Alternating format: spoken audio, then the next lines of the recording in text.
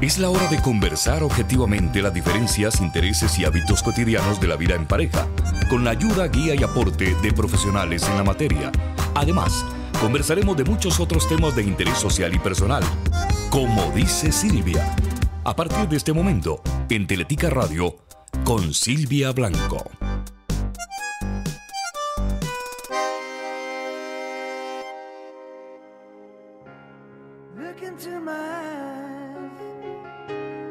Hola, hola, hola, ¿cómo están? Muy buenas tardes. Ya estamos acá empezando semana, como dice Silvia.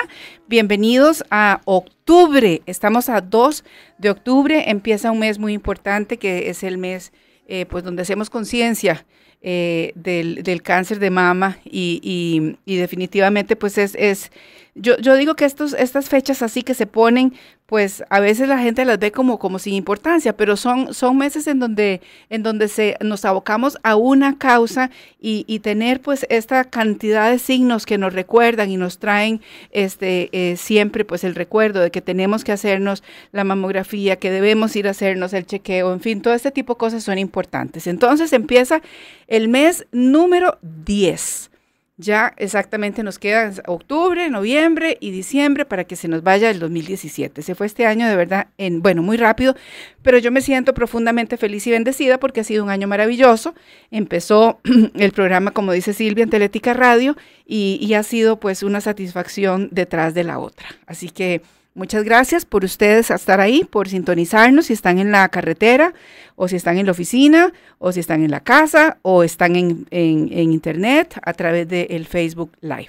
Bienvenidos. ¿Cómo estás? Bienvenido, Ezequiel. Hola, ¿cómo están? Aquí ya empezando otra semana, ¿verdad? En compañía de ustedes, esperando que nos acompañen. Y bueno, es cierto, ha pasado un año excelente y para recordarles más bien, ya yo voy a cumplir cinco meses aquí. ¿Qué tal? Increíble, rapidísimo. sí, muy bien, muy bien. Y Andreita, Andrea Gutiérrez Guardiola, señora hermosa, ¿cómo está? Ay, muchas gracias. Muy feliz y muy contenta de estar hoy aquí, compartir con ustedes un ratito más, una semana más, iniciando pues una semana próspera y abundante, como así que declararlo. Así es. Bueno, hoy tenemos un, tema eh, y le pusimos el, título directamente del, libro porque eh, pues podríamos haberle puesto alguna, alguna otra, otra este, característica, digamos, de lo que es eh, el libro de los cuatro acuerdos, pero directamente pues vamos a hablar que los cuatro acuerdos es un libro que fue publicado en 1997 o sea que ya tiene bastante tiempo de ser un libro de referencia y, ha vendido eh, más cerca pues de, de 4 millones de ejemplares. Eh, don Miguel Ruiz, el nombre completo de, a él se le conoce como Don Miguel Ruiz, pero su nombre completo es Miguel Ángel Ruiz Macías. Em, este, pues fue el escritor de este libro y tiene definitivamente dentro de sus páginas pues muchísima sabiduría y los cuatro acuerdos pues pretenden ser definitivamente una línea casi que de, de, vida eh, no solamente para lo que es la relación de pareja, que, que, también definitivamente pues nosotros lo vamos a traer a la pareja, ¿verdad? Eh, pero es en general para, para la vida, o sea, para, para todo. Sí, sí, podríamos decir que es un manual es un manual de vida. O sea, si pudiéramos decir que cómo se construye la cotidianidad a través de un bienestar y una calidad de vida es a través de estos cuatro acuerdos, que son muy completos, muy amplios y como vos decías, nos sirven para todo. Para, para todo, para todo. Es increíble. Yo me acuerdo cuando yo leí los cuatro acuerdos hace ya muchos años y, yo decía, qué increíble cómo en estas cuatro eh, eh, frases, ¿verdad? Encierra tantas cosas que son lineamientos tan claros para poder ser, y, o sea, para poder estar más contentos conmigo mismo, con mi entorno, para, para no hacerme tantos nudos mentales, eh, ¿verdad? Es que, una de las cosas importantes es que chocamos con nuestro sistema de creencias constantemente cuando creemos que la vida es fácil, inmediatamente eh, hay un pensamiento inconsciente que dice, no, no es tan fácil o la vida podría ser bonita. No, no, no, no, cuesta mucho. Y entonces, obviamente, la propuesta de este autor es ofrecer a las personas que conozcan un poquitito de sí mismas, que se den cuenta de quiénes son, cómo actúan y que se hagan conscientes de que todos llevamos un juez adentro, un crítico, un señalador que es heredado de creencias limitantes del mismo sistema en el que nosotros vivimos, que evidentemente eh, hicieron lo mejor que pudieron nuestros papás, siempre lo decimos, y salimos a la calle con mandatos y con creencias limitantes que han sido heredadas. Entonces, por eso eso nos cuesta mucho entender que cuatro acuerdos nos puede ayudar a vivir cómo es eso, cómo es que cuatro acuerdos me van a resolver toda mi vida, ¿verdad? Porque es un... Eh, eh, ¿Cómo hacemos, Andrea? Son cuatro acuerdos, los vamos a desarrollar uno a uno, los nombramos los cuatro de golpe y después comenzamos uno a uno. Sí. ¿Cómo, cómo hacemos? De, nombremos los, los, cuatro, ¿verdad? Sí, yo creo que... Si quieres los nombras. Vamos a ver, el primer acuerdo es, sé impecable con tus palabras. El segundo acuerdo, no tomar nada personalmente. El tercero, no hacer suposiciones. Y el cuarto, hacer siempre tu máximo esfuerzo. Ahora sí me entienden por qué, porque es como decir, ok, o sea, y eso lo vamos a desarrollar, obviamente, uno a uno. Pero si estas cuatro cosas las tuviéramos frente a nuestros ojos y frente, o sea, como, como, un, un eh, como una regla prácticamente de vida, eh, y lo tuviéramos tan claro, ya, ya más bien adoptado en, en, nuestras creencias y en todo lo que nosotros hacemos, eh, pues sería muchísimo más fácil la relación con nosotros mismos y con todo lo que nos rodea. Vamos a empezar con el primero. Así es. Y para eso pero quiero introducir también, sumándole lo que estás diciendo, que todo ser humano, si quiere amar y quiere ser amado, quiere ser feliz y hacer felices a los demás, debe entender primero debe entenderse a sí mismo y entender a los demás. Y para lograr ser felices, entonces, sin ninguna influencia externa, tengo que trabajar con mi propio sistema. Y lo primero que invitamos a las personas es a que le pongan muchísima atención con este ser impecable con tus palabras. ¿Y qué significa ser impecable con mis palabras? Bueno, que todo lo que sale de mi boca tiene poder y tiene poder porque nace de un pensamiento que conecta con una emoción y es algo que está circulando. Y lo hemos hablado en algunos momentos, cuando lo que yo pienso se hace realidad. Si yo creo que no voy a poder y declaro y decreto constantemente, eso me cuesta muchísimo. Eh, de hecho, es un proverbio eh, que viene en la Biblia, ¿verdad? Lo que sale de tus palabras es básico y fundamental, tiene poder, tiene la capacidad de crear, pues entonces yo digo que no puedo, voy a generarme todas las condiciones para decir, si es cierto, no voy a poder. Entonces, cuando ser impecable con las palabras es que mediante las palabras nosotros expresamos nuestro poder creativo. Y, el poder creativo puede ser íntimo, pequeño, como muy amplio y muy grande. Si yo, porque ahorita estamos hablando de etiquetas, si yo digo no puedo, no soy capaz, me siento tonto, o eso es muy difícil, llevémoslo algo más allá. Eso es muy caro, es inalcanzable, es difícil. O la salud, ya que estamos hablando, que iniciaste hoy hablando del tema de la salud. Yo invito a la gente que este mes celebremos la vida y el confirmar que estamos sanos y que estamos preventivos y no curativos. ¿Por qué? Porque cuando las personas se, entonces se enfocan en la enfermedad, se llenan de mucho miedo y podemos empezar a hablar del que, miedo a la enfermedad y que entonces hay que ir a cuidarse y hay que buscar el, diagnóstico. obviamente entonces vienen los síntomas, vienen todos los, problemas que, conlleva. Ahora, cuando, cuando, decís, cuando decimos sé impecable con, con tus palabras, cuando el doctor Ruiz dice esto, eh, y lo traemos hacia eh, la pareja. Obviamente, ah, dijiste ahorita en general, ¿verdad? Y, y, obviamente qué caro, qué, qué difícil, eh, todas esas cosas que salen, ¿verdad? no solamente es a lo que es la afirmación, sino al, al, que muchas veces no hablamos bonito, no decimos, o sea, es que no nos preocupamos siquiera de ser, de ser personas con un corazón en la boca. Bueno, o sea, es hay una parte del libro que Ruiz dice, las palabras son hechizos que se pueden utilizar para bien o para mal. Y entonces cuando vamos a hablar de la pareja, muchas veces estamos criticando algo de ella y donde pongamos nuestra mirada, ¿verdad? Lo decimos siempre, se multiplica. Entonces, si yo de mi boca salen críticas de mi pareja, evidentemente lo que voy a ver son los defectos y sus debilidades que me van a molestar muchísimo. La forma en que yo digo las cosas me inspiran para sentirme cómodo y ver la vida realmente como es o al contrario es para estar siempre incómodo y verlo desde una interpretación. Ahora, el, eh, ser impecable con mis palabras, por ejemplo, lo que nos llama es entonces a de alguna manera hacer un alto en el camino, ¿verdad? Y tener la, ser consciente.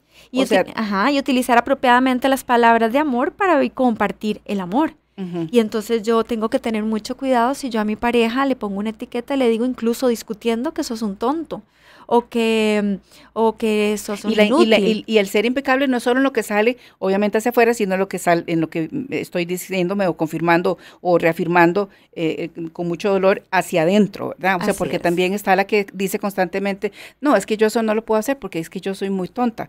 Eh, yo eso no entiendo nada porque yo, o sea, soy tan lenta para aprender. O hay quienes dicen, soy tanto". pésima pareja, o soy pésima pareja, no sé convivir con mi pareja, entonces mejor no tengo pareja. O qué mal que es, este, qué difícil que son las relaciones. Entonces lo que sale de mi boca impacta emocionalmente también. Y así es como yo, es el lente con el que yo veo la vida. Ser impecable con las palabras entonces nos lleva a una congruencia porque tengo que alinear mi pensamiento y mi emoción, qué es lo que yo realmente quiero.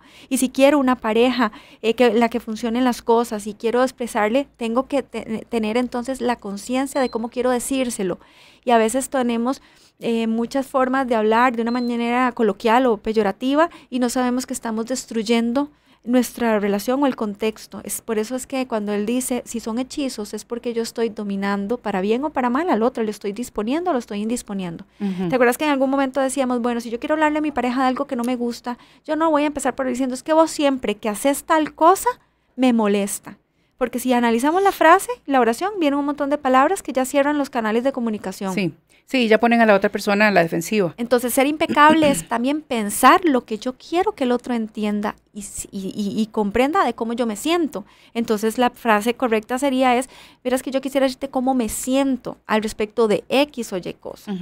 Todo, todo lo que cuando uno habla, este, em, uno escucha decir, es que están hablando sobre crecimiento, eh, crecimiento personal, Ajá. ¿verdad? Entonces uno dice, bueno, ¿y eso cómo se come? ¿Y eso cómo es? Bueno, el, el crecimiento personal requiere definitivamente una conciencia, ¿verdad? Ujú. Yo sé, yo tengo que ser consciente de que yo quiero crecer, la palabra lo dice, o sea, Ajá. quiero crecer, eh, quiero te- tener una mejor actitud, quiero eh, entender mejor, quiero ser más receptivo, quiero ser más tolerante, quiero, ¿verdad? O sea, implica todas estas cosas. Entonces, obviamente estos temas de crecimiento personal, pues nos, nos traen a ser conscientes, a ser personas que, como decís vos, congruentes, ¿verdad? Entonces, eh, eh, eh, Ese es el desafío mayor y más grande. pero, porque- pero para poder entrarle Ajá, eh, con- y ponerle el pecho, como digo yo, ¿verdad? Sí, Tengo sí. que saber que Mm. esta es, esto es lo que se espera, ¿verdad? O sea, yo no voy a entrar aquí a decir, ah, voy a leer estas cosillas de, de crecimiento para, para después, es- me entró por un oído, me salió por el otro y no, y no pongo nada en práctica. y van de la mano con una autoexigencia también. Y una autoexigencia no malinterpretemos en negativo, sino positivo. Si yo quiero ser mejor persona, tengo que revisarme constantemente y, y- y revisar, y ser observador de los paradigmas, de las creencias limitantes, de lo que yo quiero creer, de lo que no quiero creer con respecto a lo que me esté rodeando en cualquier momento. Entonces, si hoy estamos hablando de que nuestras palabras deben ser impecables, entonces yo debo saber que mediante ellas estoy expresando lo que yo siento, lo que yo quiero, no solamente mi, ni- mi, mi visión mágica de la vida. Sí. Y aquellas personas que de pronto podrían decir, ay, bueno, pero las palabras, hay, hay personas que las palabras se las lleva el viento. Bueno, son personas entonces que no se respetan a sí mismos lo suficiente para ponerse cuidados. y, lo- y cuando hablamos, digamos, por ejemplo, en un tema de pareja, que podemos destruir la autoestima de una persona solo con lo que le decimos. Sí, y si fuera una vez, pero eh, generalmente cuando las personas precisamente no tenemos cuidado, ese cuidado con las palabras, es que tal vez podemos tener años recibiéndolas y, diciéndolas. Y Voy a es. recordar el número de teléfono 8402-3111. 8402-3111 para hacer los mensajes de WhatsApp, el 57000915 también para... Ah, no, el Ese no 57 está. no está. Se los llevaron. Sí, hoy estamos solo con el 84. 8402-3111, que es el, el, el del programa, porque el otro este, está ocupado. El otro anda paseando, se fue a pasear por algún lado. Entonces no lo tenemos, pero sí tenemos el, de, el del programa 8402-3111 y también está el, el Facebook Live, que ahí estoy viendo la imagen, este, y entonces también nos pueden escribir en, en la partecita de abajo del video. Denle me gusta a la página de Teletica Radio y ahí pueden ver todos los Facebook Live de todos los programas de la radio, porque en Teletica Radio transmitimos todos los programas en vivo en imagen en nuestra página de la radio. Ok, perdón, entonces Andrea. Entonces te decía que nuestra intención se pone siempre de manifiesto a través de las palabras que además van formando frases y por eso vamos construyendo Sí. creencias. Y entonces lo que soñamos, lo que sentimos y lo que realmente somos eh, por medio de las palabras lo reconocemos. Hay personas que dicen, ¿quieres conocer, ¿quieres conocer a alguien más? Simplemente guarda silencio y escucha todo lo que te dice y cómo lo dice. Y entonces así vamos conociendo su bulla mental, sobre dónde, dónde pone su mirada, su autoimagen y la imagen que tiene de los demás. Quien tiene, digamos, por ejemplo, el juicio y la crítica muy fuerte y, y hacia sí mismo es muy duro, seguramente también lo proyecta con los demás. Y entonces por eso podemos ser muy destructores y destructivos con la imagen de alguien, destruyendo la nuestra paralelamente. El acuerdo que sigue es bien complicado. Eh, a ver, no es que es bien complicado, es que cuesta. Cuesta eh, realmente llegar a no tomar nada personalmente, ¿verdad? Porque muchas veces escuchamos eh, frases o alguien nos dice algo o alguien dejó de hacer algo. Este, y de inmediato hay una vocecita o algo ahí que inmediatamente tomamos eso de manera personal como si nos lo, lo estuvieran haciendo adrede. Yo creo que ese punto es uno de los desafíos más grandes porque no importa la edad que tengamos y la conciencia que vamos adquiriendo, somos un cuerpo emocional que también se siente dolido a veces o se siente entusiasta a veces o la mayor parte del tiempo y nos toca la fibra personal de lo que alguien esté haciendo, diciendo o de la forma en que esté demostrando lo que piensa, lo que siente de nosotros. ¿Qué pasa cuando no lo tomamos personal? Bueno, no lo tomamos personal porque estamos de acuerdo con cualquier cosa que se nos diga. Esto tiene mucho que ver, ¿sabes con qué? Con la falta de autoconocimiento. Yo me lo tomo personal cuando en realidad no me conozco lo suficiente. Y cuando yo estoy entonces bajo la lupa o me siento observado por el otro y por eso creo que me conoce tantísimo que puede atravesar todas mis fibras personales y que puede herirme con la facilidad con la que puede hacer o decir algo. Lo que pasa es que... Nosotros, un ejemplo, por ejemplo, porque en todo esto, sí, sí, eh, yo digo que es de, los acuerdos más difíciles, ¿verdad? Porque, porque eh, es veneno que nos recorre si nosotros lo tomamos personal, nos victimizamos. Sí, y hay autoestima envuelta y hay, y hay este, inseguridades, ¿verdad? O sea, que, que la otra persona de eh, no, tal vez ni lo sabe. La otra persona detonó, actúa, simplemente oprime un botón. Exacto, oprime un botón. Cuando yo, y entonces ahí la pregunta, ya antes de poner el ejemplo, es cuántas cosas me la tomo personal.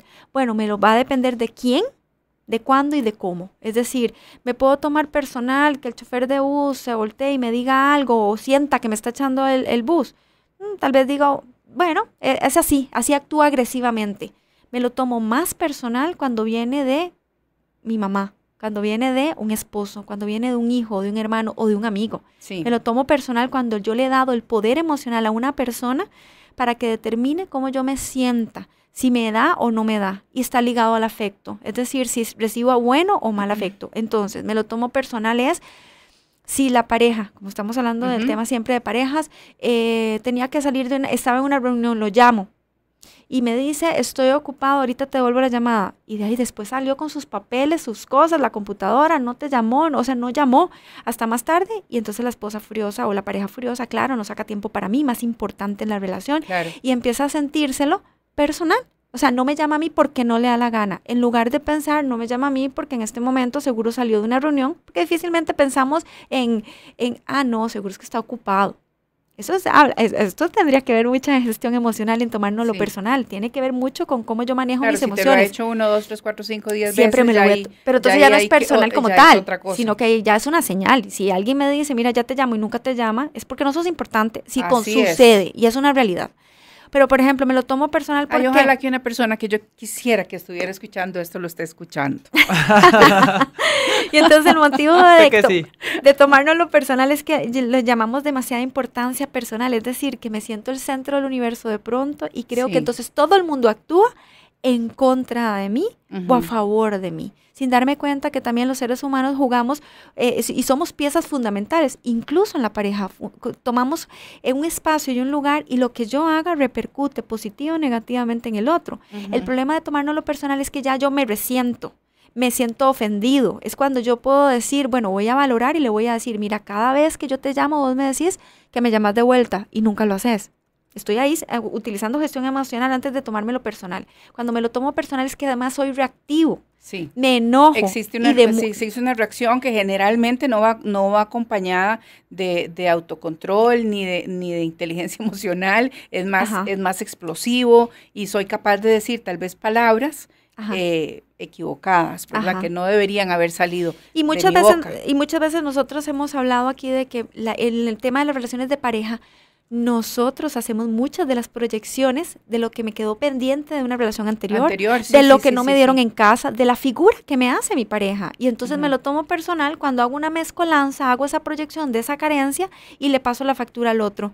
Cuando entonces el otro, que podría ser más inteligente emocional y decirnos, mira, esto que me estás pasando no es mío, hacete cargo de lo tuyo. Pero seamos honestos, nunca, no, no fuimos criados en función de manejo de emociones, sino que conforme venían las emociones, mamá y papá venían paliándola. Mucho de lo que habla Ruiz es eso, que nosotros somos domesticados y domesticados en buenos términos. Había que hacerlo, porque si no, no podríamos ser, digamos, sueltos por la vida. Pertenecer a un sistema familiar con sus propios, digamos, eh, estilos de vida nos hace únicos. Pero cuando yo salgo de mi casa a buscar una relación de pareja, si mi casa no recibí mucho afecto de papá y poco reconocimiento de mamá, voy a entonces a tomármelo personal todo, porque entonces si mi pareja no me dijo que qué linda me veía hoy, o no me dijo qué rico hiciste la comida, o bien yo no le dije a mi pareja que qué guapo, o que qué bien, tal cosa, se puede resentir hasta el punto de hacer una pequeña, un pequeño conflicto, porque me lo tomo personal. Qué pequeño. que generalmente no son pequeños, pero yo, sí, siempre el tema, el tema es que, que precisamente por no eh, tener claro, por ejemplo, esto de que no debería tomármelo personal. A ver, hay cosas, y esto es así, o sea, hay situaciones en donde eh, porque no, no, estamos diciendo que no hay que discutir absolutamente nada y que sí hay algunas cosas que pueden ah, ser, que pueden ser. Eso es como el eh, contacto visual. Si venís en la calle, alguien te volteó a ver y te mentó a la madre, es con vos, o sea, es personal, te lo está diciendo vos. Exactamente. Pero la carga emotiva, el hecho es neutral. Yo le voy a dar una carga emotiva a ese evento. Sí, es que es, esa es la. Eh, es lo que habla de eso es lo que tenemos que poder, que poder, este. Mm, ¿cómo decir? O sea, tenemos que tomarlo, tenemos que... Y es que, te voy a decir una cosa, no ser reactivos, no ser así, eh, eh, em, sin, sin filtrar, ¿verdad? O sea, que va directo a la explosión y todo esto. Cuando una persona no tiene esa conciencia, es muy fácil eh, hacer que pierda el control. Eh, eh, herir y que se pierda el control. Y entonces es una bola de nieve, porque si la persona no tiene la habilidad y la gestión para administrar su emoción, se lo toma todo personal, se convierte en una víctima. Y no una víctima que necesariamente se sienta a llorar en el caño, no. Todos, todos tenemos una víctima dentro que a veces quiere ser alimentada y sale por sí sola y es un juego de y entonces la víctima manipula y entonces queremos buscarlo todo a nuestra función y por eso es que no, estamos viendo que no lo tomamos personal. Eh, no podemos ser objetivos porque eso es una ambición también, todos tenemos una interpretación y la interpretación es lo que yo siento de la vida y como yo, la ventana o el marco de ventana con el que yo vea la vida. Entonces mis relaciones de pareja también van a hablar muchísimo de cómo es que yo me siento. El, el tema de personal es que va a evidenciar tu nivel de seguridad, tu autoestima, tu amor propio y tu capacidad también de hacer lo tuyo algo que está viviendo. ¿Por qué? Porque yo puedo decir, bueno, la compañera de trabajo pasó y no me saludó. Me lo puedo tomar personal diciendo me odia, le caigo mal. O bien, ah, seguro anda en su rollo. Yo voy a dejar, voy a administrar. ni me vio, seguro ni me vio. O no pasa nada si no me saludó, si es que también todos tenemos nuestra huella y nuestro rollo mental. Claro, lo que decías al principio es cierto. Puede ser que yo me tome personal eso y no me afecte. O sea, si mi compañera de la oficina no me saludó, si mi vecina o qué sé yo. Pero si ya es mi pareja, si ya es ah. mi mamá, si ya es mi hermano, la si cercanía. Ya es, exactamente, ya implica otras cosas. Entonces la reacción también conlleva otra otra carga por eso emocional. exacto, y porque yo le voy a poner color a ese hecho y le voy a poner un color sombrío, dramático, intenso y bueno, y, entonces no tengo el recurso también para enfrentarlo porque... Pero entonces, ¿cómo hacemos para no tomárnoslo? O sea, ¿qué, qué es lo que yo... Lo que bueno, primero me hago consciente de lo que yo estoy sintiendo. Mira, veo que este, mami saluda a todos, no me saluda a mí. O veo que mi pareja no tal cosa. Yo, hay algo que, digamos, que tomármelo personal, dame un ejemplo cualquiera. Algo que se te ocurra. Em, eh, híjole. Ay, no sé, a pareja, a nivel de pareja. Lo que quieras para que veamos entonces eh, eh, con un ejemplo cómo es el ideal, porque el debería no existe, ¿verdad? Nunca vamos a saber, podemos prepararnos para responder ante una situación, pero realmente nuestra carga emotiva va a ser la diferencia. Bueno, yo, eh, no sé, me, me, me, me pulí en, el, en la cena y llegó toda la familia y, y, nadie me dijo ni, ni gracias, ni que estaba rico. O nadie te ayuda a recoger nada y se Sí, fue. sí, sí. ¿Y O qué? sea, Cólera. y me puede dar cólera o me puede dar tristeza. El tomármelo personal es no, que y me entonces pulí es porque, porque les hice tal vez un platillo, no simplemente porque es la comida todos los días, sino porque implicó, ¿verdad? Hacer algo extra, digamos. Exacto. Algo, algo, tuve que ir a comprar ingredientes y tuve que pasar toda la tarde horneando y lo que o lo que implicó, y fuera. lo que implicó, y nadie Sí. lo valoró, porque a lo mejor, Entonces, pero- obviamente yo me voy a sentir mal y me Exacto. voy a sentir que, Ajá. claro que es conmigo, o sea, no me dijeron ni gracias, ni qué rico. pero es que hay veces, nada. ahí es donde yo te, te cuestiono y te digo, pero, se están sintiendo este, identificadas, ustedes que me están oyendo. pero ahí ¿Sí? es que ahí yo veo que le estás Ok, entonces, ¿cómo no me llamo? ¿Cómo no me, cómo no me para tomo no eso? tomarnos lo personal, lo primero que tenemos que hacer es revisarnos cómo yo me siento. Ok, esto del 1 al 10, ¿qué nivel está? Y ser conscientes. Si soy una anfitriona, excelente, siempre lo hago. Ya ellos están acostumbrados a que yo lo haga. ¿Por qué tendría yo que pedir reconocimiento? ¿Ok? Esto es muy importante. ¿Por qué? Porque esto va a revisar tu inteligencia y tu gestión emocional. Entonces, cuando ya yo me siento adolorida, yo tengo que tener dos dedos de frente para podernos ir al baño, respirar profundo, porque puedo echar a perder un, mal- un buen momento o bien enojarme con la familia al día siguiente salirme hasta del chat. Y ya, estoy demostrando ahí, desde la, ¿verdad? Porque el personal es el drama, va acompañado del drama también. Ajá. Todo no lo vamos a tomar personal, Silvia, de alguna manera, siempre, porque te lo dije, somos personitas Sí, en cuerpo emocional. El tema es cómo yo lo interprete. Cuando yo me lo tomo personal es porque digo, todos conspiraron en contra de mí. Yo tengo que identificar lo que yo siento para saber si es mi víctima, la que está La que afuera está hablando, sí. hablando y la que está la que va a tomar entonces represalias porque tú ya no los invito y todos ya, ya no ni el postre llevo la próxima vez. Y entonces eh, y tal vez alguno y otro dio por sentado que es que por sí vos sos siempre una muy buena anfitriona. Yo debería preguntarme es desde dónde yo doy cuando se trata de este tipo de cosas, desde dónde yo entrego. Si yo necesito un reconocimiento, bueno, pues entonces yo me tomo a la tarea de dejar que pasen por lo menos dos días y después llamo a cada persona de acuerdo a mi cercanía, a mi cuñada o a mi este, hija o a mi hijo y les digo, ¿y sabes qué? Me encantaría que la próxima vez tal y tal cosa. Ok, pero entonces eh, ahí es donde quería llegar. O sea, no nos lo tomamos personal, pero sí podemos tener una reacción, nada Sí. más que es una reacción inteligente, madura, en donde yo puedo decirle al marido que siempre se le olvida, este, ¿cómo se llama? Eh, no sé un cumpleaños o, o una fecha importante o lo que sea, o a la familia que no Ajá. me dijo, lo que sea. O a la sí, compañera que no te saluda. O a la compañera que no me saluda. Entonces sí puedo decirle. Claro, eh, y tengo puedo- derecho a sentirme como me siento. Lo que no tengo derecho es a que el otro vea mi reacción, de mi emoción descontrolada y que no sepa ni qué hacer con eso. Porque eso es como cuando hablamos de- de- del perdón, tal vez, o de algo que te hice. Tal vez la otra persona ni siquiera sabe qué, qué tan importante fue o cómo te afectó si no lo hablo. Y a veces somos cómplices, porque como no sabemos hablarlo, Ujú. entonces me lo tomo personal y me lo guardo y lo cocino, lo alimento Ah, sí, y sí, sí, sí, entonces se hace una batalla. Sí, sí, lo, lo monstruizo, o sea, lo hago un Exacto. monstruito Y más grande de lo, más, exacto, sí, más grande Y de lo que y era. cadena. El, ter, sí, el, el tercer acuerdo, este también, es que todos, ¿verdad? No hacer sí. suposiciones.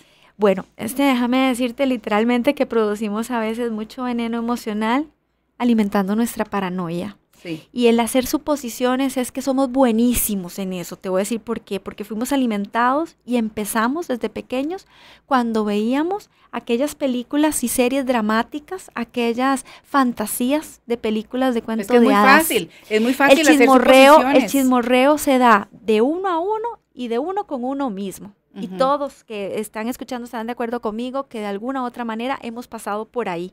Y claro, porque entonces le Y es ponemos que van el entrelazados, ¿verdad? Sí. Porque esta suposición Ajá.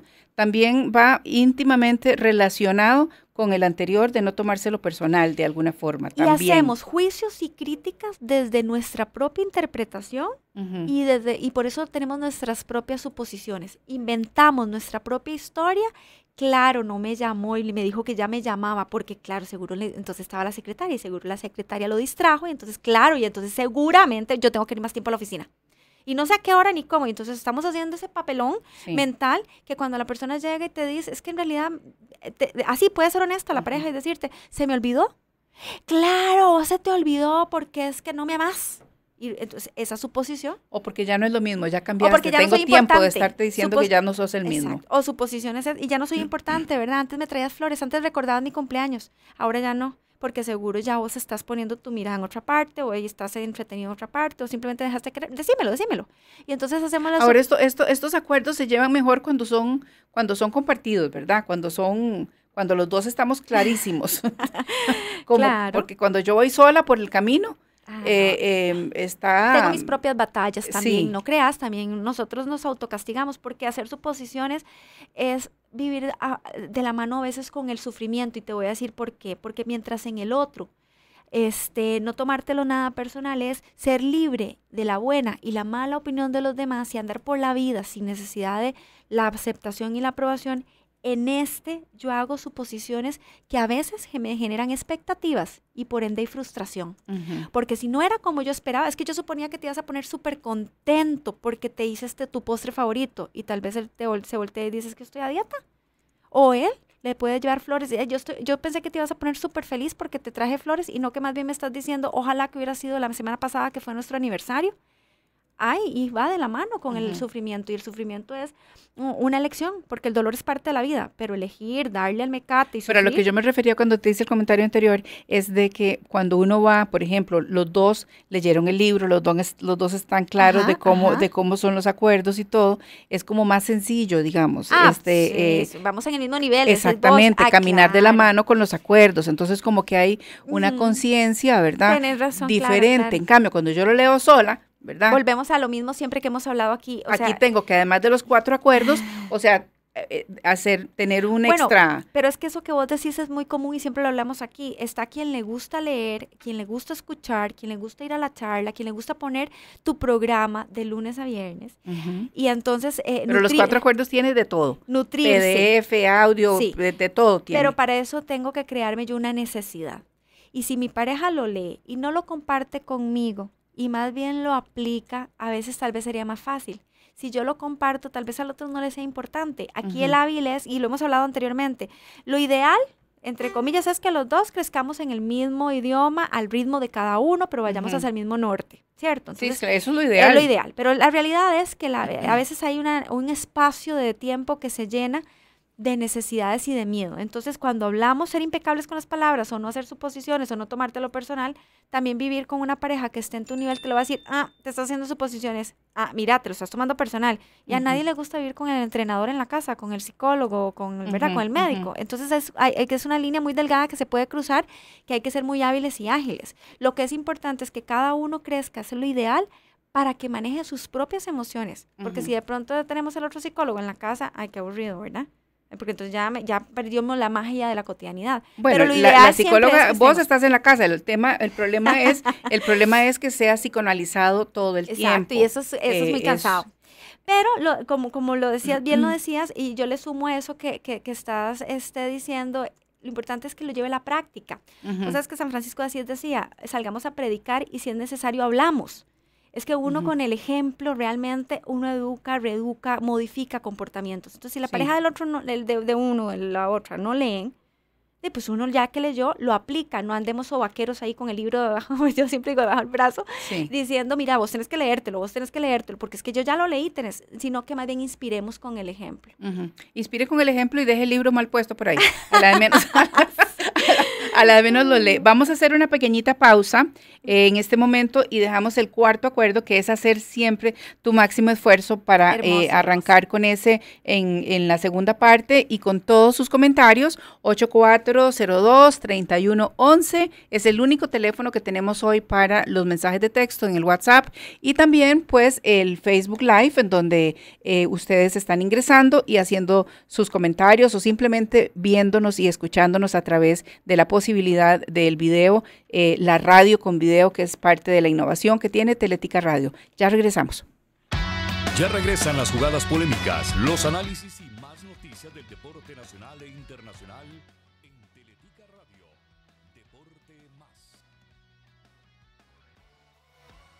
Como dice Silvia, hacemos una pausa y ya regresamos. Super Pack de Cabletica. Ármelo como quiera. Cable, teléfono, internet, TV digital, HBO Max, Fox Más y más de 70 canales en HD. Además, contenido exclusivo de TD Más y TD Más 2. Pásese ya y llévese tres servicios por el precio de dos al mejor precio. Suscríbase al 1177 y hágala toda con Cabletica. Las ocurrencias de Víctor Carvajal, Carlos Álvarez y Jorge Alvarado el Grinch lo esperan de lunes a viernes a las 4 y 30 de la tarde y hasta las 5 y 30. Entre dos, por Teletica Radio. Generamos conversación. Cuando cultivemos el amor universal, todos los corazones serán servidos con la misma medida. Sundari. Escuela Esencialista. Reuniones todos los jueves de 7 a 8 de la noche. Hotel Auténtico, Antiguo Torre Molinos. Informes al 2440-6261 o al 8364-2400. Como dice Silvia, continuamos conversando sobre los mejores temas de la vida en pareja y mucho más. Solo aquí, en Teletica Radio 915 FM Estéreo. ¡Ay, qué lindo! Bueno, hoy no está Grinch en la, en la cabina, pero, o sea, aquí todos son especiales, aquí todos son, son, son hermosos y, y, ¿cómo se llama? Y nos complacen con música eh, rica. Y, y, bueno, Grinch anda dando vueltas por ahí, pero yo no sé por qué es que no se sentó hoy conmigo, pero bueno, no importa. Este, ya ahí viene, ahí viene, ahí viene a contestarme. Aquí estoy. Lo que pasa es que, eh, como me tocan las transmisiones deportivas, tengo que irme ya. No puedo estar con usted, pero aquí la llevo dentro de mi corazón. Ah, okay. ah ¿Y, y, me va a regalar agua? Eh, Daisy. Sí. le dijeron, le dijeron inútil. Esa, ese es el trato que le dan uno aquí. Eh, sí, ¿qué? Lo que estamos hablando, ¿verdad? Las palabras que Pero entonces llegan. Ahí viene, ahí viene entonces la postura de me dijo inútil, que dicha, porque así entonces no lo hago. me están diciendo inútil. Exacto. No hago esfuerzo, el mínimo esfuerzo. Entonces, la gente puede usar las palabras. Me dijo inútil, di. Él, para eso sirve el aguatero. Ay, Dios mío. Ay, bueno, entonces. Nosotros tenemos eso, vos sabes, que somos muy choteros, de verdad nos hacemos bullying así y vamos sí. programándonos. Es importante que cuando entren palabrillas así, inmediatamente digamos cancelado, porque se nos, el, la mente inconsciente lo compra y después Sí. se me conecta con otra palabrilla instaura, que me dijeron ahí. Se instaura exacto. y comienza a ser, obviamente, creencia. Una... Comienza exacto. a ser una creencia y es terrible, porque ya instaurada y ya ahí bien comodita, Así hay que es. ver cómo, cómo, cómo, la sacamos. Ok, hacer siempre tu máximo esfuerzo. Cuando hacemos lo, lo, máximo que podemos, aprendemos entonces a aceptarnos a nosotros mismos, vos sabes, y, y, tenemos que ser conscientes de que entonces la vida ya no se vuelve un castigo, ya no son eh, experiencias solamente de de elección de vida, sino que nosotros también aprendemos de lo bueno, lo mejor si queremos. Y saber que cada experiencia no la vemos como un error, sino como una lección. ¿Qué pasa cuando yo te digo, bueno, hay que hacer una, una prueba? Esa prueba no salió bien, vamos a repetirla. A diferencia de esa prueba es un error, tenemos que volverla a hacer. Uh -huh. O sea, entonces ya yo siento que no fue lo suficiente, que voy obligada, que yo debería. Bueno, cuando nosotros reconocemos que hacemos lo máximo que podemos, estamos diciendo, estoy dando mi potencial, lo mejor que tengo, que es mi potencial. Si no sale como yo quiero, simplemente tengo que esforzarme un poco más, reconocer que hay algo de mí que tal vez no estoy dando. Aquí no nos quedamos solo en palabras, ¿verdad? No es solamente no. decirlo, sino es el accionar. O sea, es en hacer. Es, y, es, y, va de la mano con los valores que hemos hablado aquí, con honestidad, con respeto, con cariño, con comprensión, con empatía. Uh -huh. Cuando nosotros decimos, yo doy lo mejor que yo tengo de mí, entonces estoy hablando a nivel mental, a nivel emocional y a nivel físico. Estoy disponiéndome con la honestidad, uh -huh. con la empatía, entonces dando, ¿verdad? Poniéndome en el lugar del otro, experimentando lo que el otro siente, respetando. Y de ahí, obviamente, la definición de mediocre no solamente es aquel que, de, que no se pule, sino uh -huh. que sabe que teniendo su capacidad, solo da la mitad de esa capacidad. Yo creo que... Sí, que entra, entra en conformismo y, Exacto. y aparte del conformismo, eh, eh, eh, o sea, la comodidad de dar mitad de, todo, de cualquier cosa o un porcentaje de lo que se pueda dar y aparte, obviamente, aceptarlo, ¿verdad? Que es, la mediocridad, se vuelve su estilo de vida. Y ahí entonces, y entonces quiero, ya está bien, está cómodo, está ¿para, para y, qué más? Y, y liguémoslo esto a las relaciones de pareja muchas relaciones de pareja son ya por equipo mediocres, porque uh -huh. el otro dice, ya yo doy demasiado. Y entonces uh -huh. no sé si el otro va a dar igual o va a dar mejor que yo. Si yo me ocupo de dar siempre lo mejor, también me vuelvo exigente de alguna manera con el otro, porque estoy esperando que el otro me dé lo bueno que tiene. Entonces hay parejas que se vuelven mediocres porque una se acomoda a la otra y entonces defienden sus puntos de vista, se lo tomaron personal, hacen la suposición de que están dando lo mejor que tienen, pero en, en, el fondo no, porque yo te decía que la patita que sostiene a dar el máximo esfuerzo es nuestra honestidad. Y la honestidad es algo que solamente yo, en mi intimidad, reconozco si doy o no, si estoy o no estoy, o si estoy haciendo lo mejor. Al principio eh, comentaba de que, de que el crecimiento personal había que meterle el cuerpo, ¿verdad? O sea, hay que, hay, que, hay que tener un compromiso. Y aprender de los errores, e, exactamente. Eh, pero, y te voy a hacer una pregunta, ya que lo llevaste a las parejas, ¿es más fácil para las parejas quedarse ahí Total. O sea, quedarse en esa, en ese, en ese mm, aguas tintas, medias tintas, qué sé yo, ahí más o menos, como podemos, ahí vamos. Eh, nos enojamos, yo me enojo, yo supongo, yo te grito, yo te, yo te insulto. Me lo tomo este, personal y te voy restándole al amor. exactamente, me lo tomo personal, doy la mitad de lo que puedo, porque de todas maneras vos ni siquiera me das, pero ni, ni, ni una quinta parte. En fin, o sea, que esta, esta, esto a nivel de parejas, ¿verdad? Que, que es lo que a nosotros pues más nos, nos trae, pero a nivel de, de todo el, el ser humano, si nos cuestionamos y si vemos hacia adentro, ¿verdad? Poniendo este lente aquí arriba para, ver, para verme a mí mismo, este, nos quedamos ahí.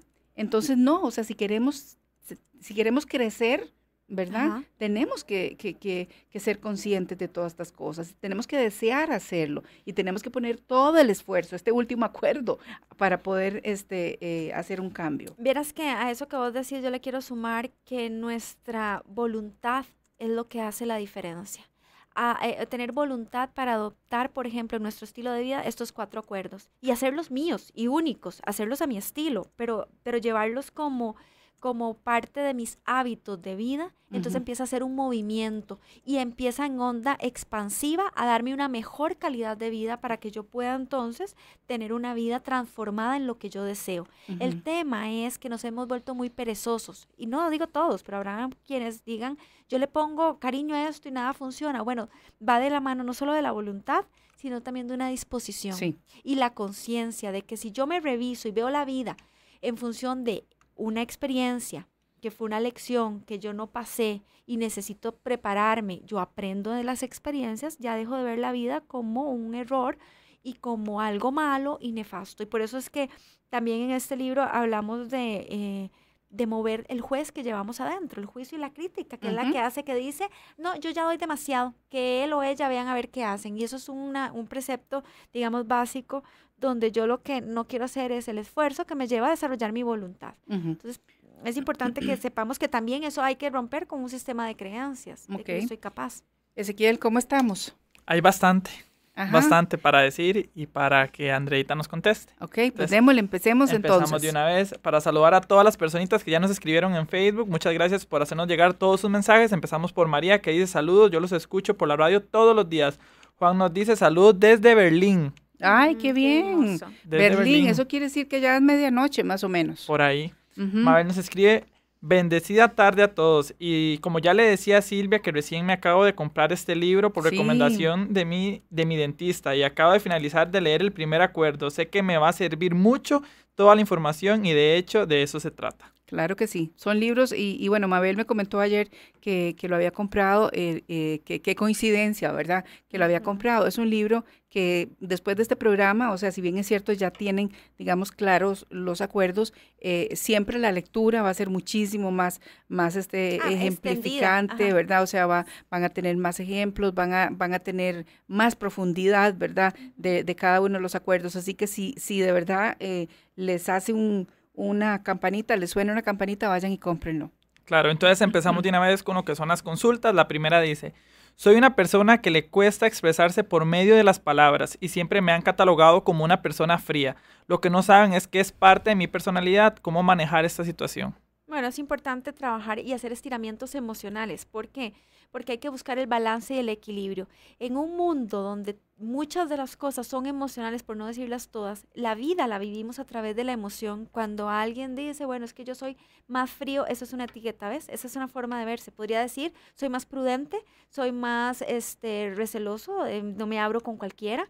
Entonces, la forma en que también se ve a sí mismo y cree a sí mismo, ¿Por así lo Porque, proyecta. a ver, vamos a ver cuál es la diferencia, porque una es como negativo, digamos, o sea, porque ella se dice yo soy fría, Ajá. eh, en cambio la otra de ser es que el frío, el, el con- el contrario frío, ¿qué es? Caliente, ¿no? cálido, sí, Entonces lo cálido es lo, lo gustoso, lo rico, lo que hace sentirnos acomodados. Frío es distancia, ¿verdad? Así lo asociamos. en, un mundo donde las palabras están definidas ya por ciertos conceptos, las etiquetas que yo ponga de van a definir también mi estilo de personalidad. Y entonces tengo que, y tal vez sea una persona que le toma tiempo eh, ganarse confianza con los demás o abrirse. Pero ya el solo decir, "Ah, bueno, mi nombre es fulana tal y yo soy fría, ya le está diciendo muchas gracias. Ya le estamos Gracias, diciendo Guito, oye, a, a- muy a- a la persona hasta dónde llegar. Son barreras que nosotros nos ponemos. Muchas veces estos son etiquetas puestas de alguien más. alguien que tal vez te dice, es que yo te trato de abrazar y vos tan fría. O yo te trato de abrazar y vos tan frío. En lugar de preguntar más bien es, es que cuando me abrazas no es el momento para mí para recibir un abrazo.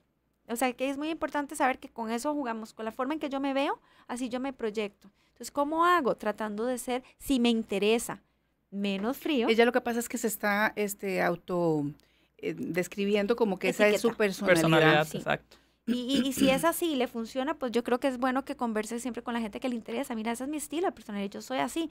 Lo que pasa es que lo dice seguro porque habrán personas que le dicen, hasta aquí No, llega, no, de no me hecho, dejas de hecho sí accesar". parece Entonces, ser el inicio del, del ¿verdad? mensaje. Entonces es importante buscar el balance y el equilibrio. A veces por posturas, por historias de vida, es que nos envolvemos en un murito para que no ser lastimados. Entonces, Ok. que la premisa Dice por acá, las palabras son tan poderosas que pueden hacernos sentir como la mejor persona del mundo, pero en cuestión de segundos nos pueden herir significativamente. Y, es por, y, y eso está asociado a nivel inconsciente por, por, lo- por como veníamos de pequeños. Vos sabes que cuando éramos pequeños y si mamá nos decía o alguien importante decía, fulanito no le den nada porque todo se le cae de las manos. Ay, no, no, a él démosle los vasitos plásticos porque siempre es un reguero y siempre bota las cosas. Empiezan a hacer como el vacilón, O todo, pero lo, crece todo lo quiebra. o todo lo quiebra o manitos de plasticina. Y entonces empiezan a ponerle etiquetas, ¿qué clase de, de adulto se convierte esta persona? En una persona que le cuesta sostener tal vez relaciones, le cuesta sostener un crédito, le cuesta sostenerse frente a la vida. ¿Por qué? Porque a nivel inconsciente tiene inscrito una serie de creencias puestas a las que no se permitió cuestionar nunca porque venían de la autoridad. Me lo tomo personal porque viene de alguien importante para mí. Claro, tus Como padres. aquel profe o cualquier profesor que dijo usted no sirve para nada, mejor estudie X cosa porque eso que usted quiere no, y la persona lo toma como una verdad. Pero qué increíble cómo, ¿verdad? Porque nada, nada es una, una ley este, única. Hay personas que más bien esas palabras las tomaron como energía, Trampolín, como- trampolín. exactamente, Sí. como energía, como fuerza, como rabia, como ganas, como de todo, para que sea todo lo contrario, ¿verdad? Entonces ahora sí te demuestro que no solamente no soy así, sino que soy eh, eh, un artista con, con Y artesanía genial, o qué sé yo. sería Digo, también hay casos, ¿verdad? Sí. De, de que se da Y sería de esa genial que así fuera la mayoría, pero es que resulta que eso va calando también en nuestra autoestima. Sí. Y si crecimos para, y cada hogar es distinto. Si crecimos con alguien que nos decía sí, pero había alguien que nos decía, no les haga caso. Vos sos grandioso, vos sos fabuloso, vos maravilloso. Entonces hay una dualidad ahí. Sí. Y está el que automa, ¿verdad? El resiliente que dice, no, yo de esto no soy igual y entonces hago la diferencia. La mayoría dejan que su autoestima entonces se pula con estas etiquetas.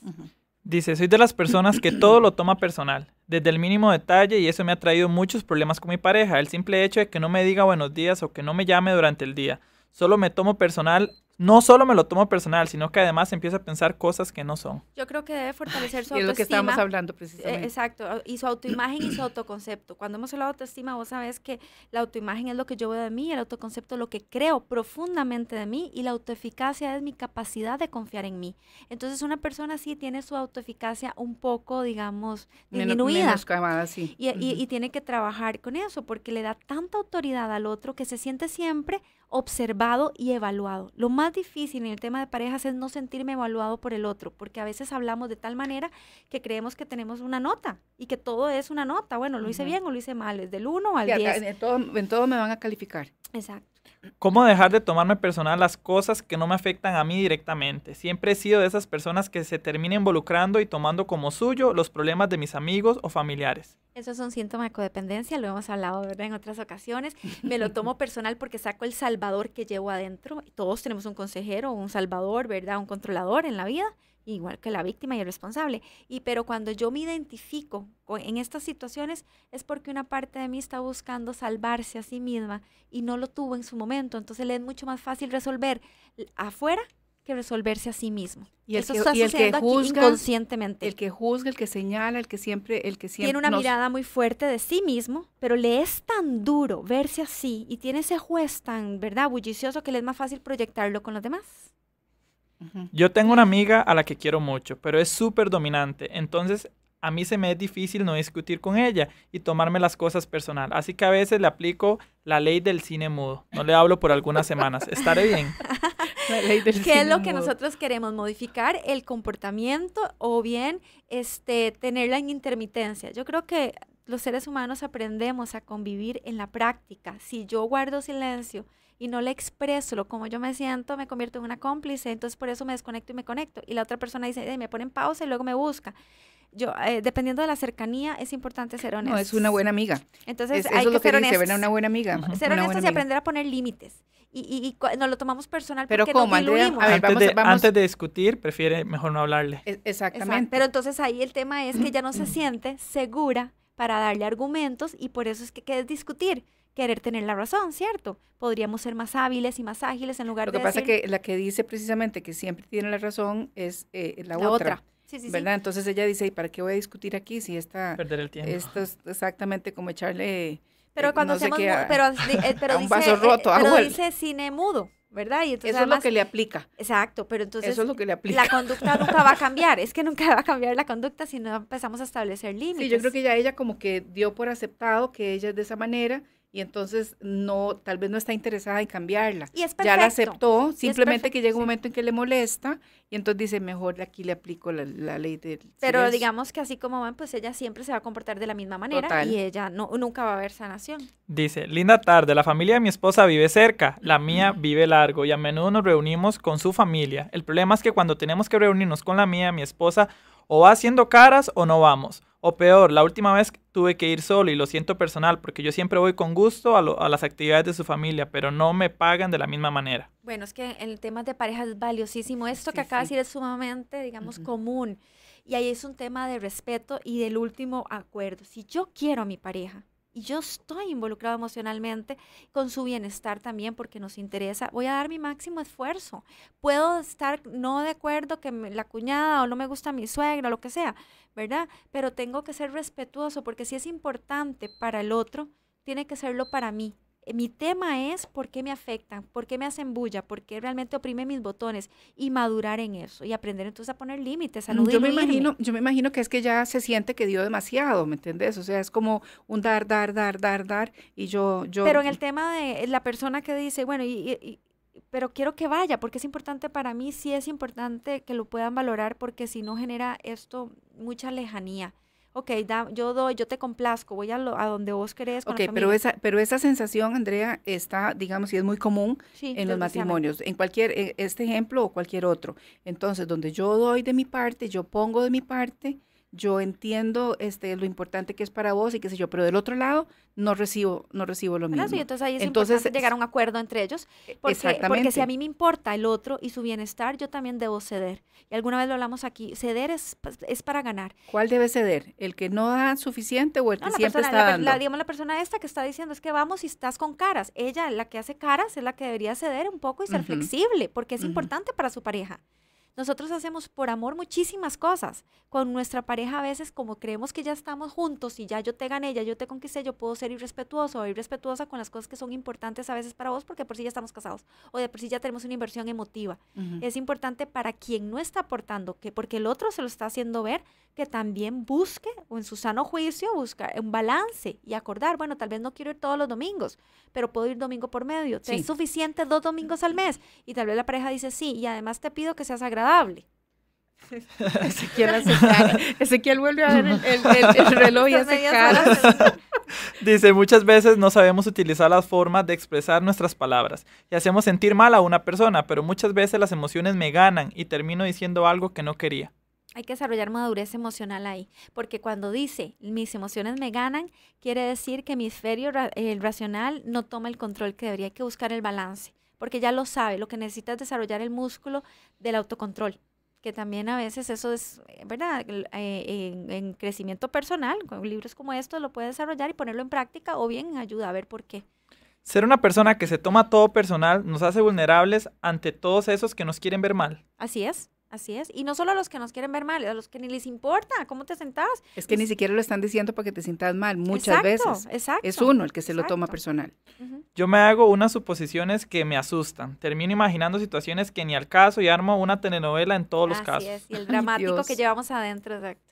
Y entonces disparamos sin preguntar. Bueno, pero ya tiene, ya tiene algo muy ganado. O sea, tiene eh, la, la, mitad ganado, o sea, lo, está, lo está aceptando. Lo está aceptando. Lo está aceptando. Aquí el tema está entonces en cuáles son las herramientas que tiene que poner en práctica o los cambios que tiene que hacer para poder... Bueno, este... Eh, eh, frase rápida, nada más, lo primero que tendría que hacer es contarse la historia, podría contarse la historia desde otro observador. Porque entonces así su cambia un poco el drama que le pone a esa suposición. Dice, tomarme todo personal me ha hecho una persona desconfiada con todos. ¿Qué hacer? Dejárselo tomar personal, dejar de darle el poder a las demás personas. Nadie te conoce tan íntimamente como para saber tus propias limitaciones y tus debilidades. Somos todos nosotros tenemos, los que las andamos enseñando. Todos tenemos la posibilidad y la capacidad de hacer cambios, Andrea. El tema es ese. Se hacen la pregunta, ¿qué puedo hacer? E, ella misma tiene la respuesta. El tema es tomar la decisión y hacer el cambio. Así es. ¿Qué pasa cuando trato qué, qué, pasa cuando trato de hacer lo mejor y las cosas me salen como yo no quería? Eso me frustra. Hay que, bueno, lo decía anteriormente, cero expectativas, cero frustración. Le pongo lo mejor de mí, lo intenciono, armo el plan, le pongo una estrategia y doy y entonces confianza esperando que el resultado sea como lo alimenté. Si yo en una licuadora meto zanahoria y le pongo un agua, ¿qué es lo que va a salir cuando yo ponga on? Agua zanahoria. Exacto. Entonces yo tengo que poner, muy bien, le voy a poner la, mejor intención, pero si yo estoy esperando de esa intención algo, estoy jugando con algo que, que, va más allá de mí, porque no todo depende solo de mí, también del entorno y del contexto. ¿Quedaron muchas, Ezequiel? Algunas por aquí quedaron. este, mil gracias, oh, Ezequiel. al contrario, gracias a todos por habernos acompañado. Que pasen una tarde excelente y los esperamos mañana. Gracias, Andreita. Muchísimas gracias, nos vemos pronto. Que tengan una tarde muy bonita. Y bueno, ustedes, este, mañana em, tenemos el tema de masaje erótico. Vamos a hablar sobre el masaje erótico, masaje tántrico. Este, así que bueno, los invito a que nos acompañen mañana al ser las eh, tres y media en punto, porque aquí, como dice Silvia, pues los esperamos con todo el cariño de siempre. Hasta mañana. Chao.